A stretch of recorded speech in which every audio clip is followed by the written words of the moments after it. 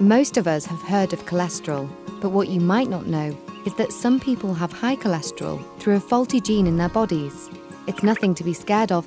It's a really common problem that a lot of people don't know they have because you don't feel ill. But as the gene can be passed to you through a member of your family, and if you have the gene, you can also pass it on to your kids. It's important to find out if the gene runs in your family. Luckily, the effects of this gene are easily controlled by taking medication once a day.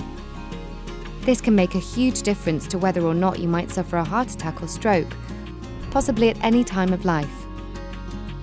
It's even more important to find out if your kids have inherited the gene from birth, as starting their treatment early will really reduce the chance of them having a heart attack or stroke at an early age.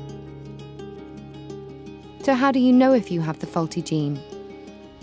If any members of your close family have suffered a heart attack or stroke, or been diagnosed with high cholesterol at an early age, maybe even in their 40s or 50s, it makes sense to get checked out. You'll need to have a quick, simple test, and other members of the family should have one too, so it's worth letting them know about it.